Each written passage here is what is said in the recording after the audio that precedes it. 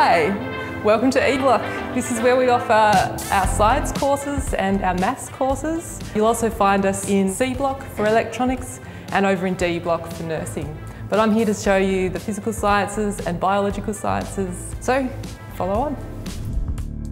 We use lots of practical work in our science courses to help teach you the content. We also have lots of help available in our tutorial sessions, so you can come and get a hand with any of your homework, your assignments, and prep for the exams.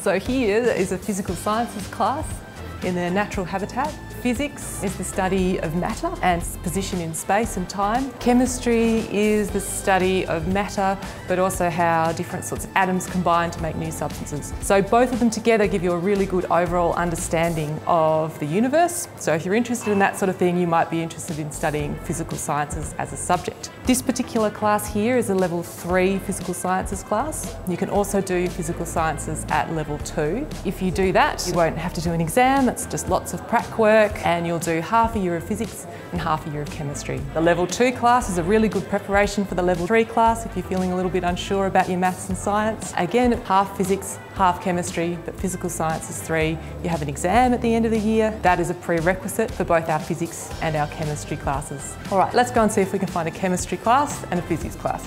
Follow me.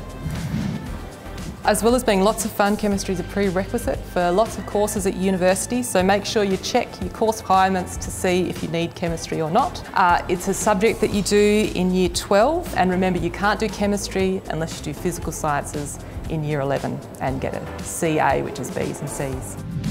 Let's go and see if we can find a physics class now. So physics is really useful for courses like engineering and all the other science courses at university, particularly good if you really like your maths. Remember you can't do physics unless you've done physical sciences 3 in year 11 and you've got Bs and Cs. It goes really nicely with chemistry, all of the maths subjects, or even if you're just interested in how the world works. Okay, here's a biology class in their natural environment. So if you're interested in biology, but you're not interested in doing any exams, then our level two life sciences class might be the one for you. Uh, you'll do lots of great prac work, uh, you'll design your own experiments, and you can either use it as a standalone course or to build up your skills to do biology or environmental science in year 12. This biology class is a biology level 3 class, so they're doing an exam at the end of the year. They're learning about living things all the way from the biochemical level all the way up to how the human body fights off disease and ecology, evolution. Again, we do plenty of practical work. We recommend that you have at least a B in Year 10 Science and English, or save it up for Year 12 so that you have time to develop your study skills. This course sets you up really well for any of the biological or general sciences at university. Okay, let's go and see if we can find the environmental science class now. Environmental science is a level three course. They do lots of excursions, but they, so they might not be here, but it looks like they're here today.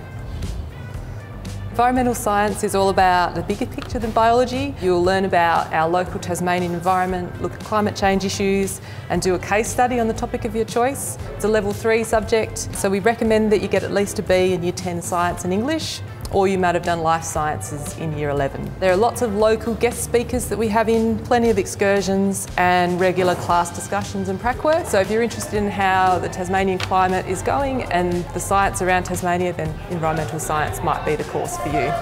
Okay, let's go beyond E block now, over to C block where you might, if you like tinkering with circuits, uh, like to take up electronics too, um, but I will let Cass talk to you all about electronics. Hey, I'm Cass Olive and I teach electronics. Electronics 2 is a good place to uh, dip your feet in with electronics, making some devices and gadgets. So in both of these subjects, we design some digital and analog circuits. We look at microcontrollers, making some kind of robots, lots of hands-on activities. There is a bit of basic maths, so if you've done some year 10 maths, then you'll be right. So if you're interested in perhaps tinkering or if you've enjoyed doing some sort of STEM engineering science subjects, hope to see you all next year. If you're interested in a career in health or perhaps uh, to be a nurse, you might be interested in our introduction to nursing classes, um, but I will let Matt tell you about those and the nursing classrooms this way. Follow me. My name's Matt. I'm the Introduction to Nursing Coordinator. That's the Certificate 3 in Health Service Assistance at Hobart College.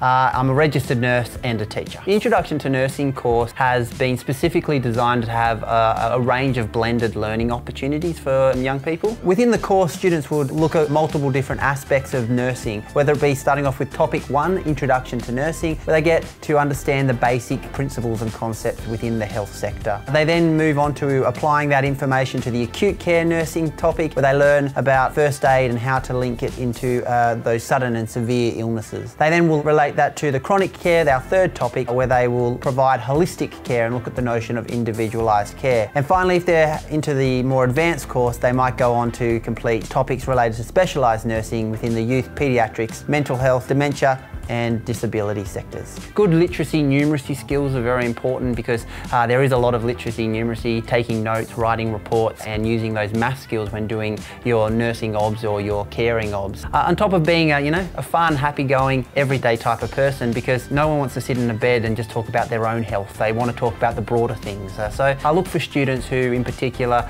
uh, have other interests such as photography, art, uh, sport, so they can talk to their clients about that. So there's multiple different pathways that students could take. They could do my taster one-liner course, which really just gets them an understanding of what the health sector might be. They might go into the more intensive double-line 300-hour course, really gets them to delve deeply into the content and also go on work placement. Or if they do really well, they could then go into the more intensive advanced introduction to nursing course in their second year, where they would look at paediatrics, maternity, youth mental health and disability, and aged care with a dementia care focus. We have organised for some uh, elderly clients who come up and the students have to engage quite a lot with those clients, learning communication skills, empathy, things that are really important, which also sets them up to go out on work placement. And I send most of my students out on work placement in the local area, whether it be at the Royal or at local aged care facilities. And plenty of those students then go on to even more advanced uh, placements that I offer in my advanced course, whether it be in child and family centres,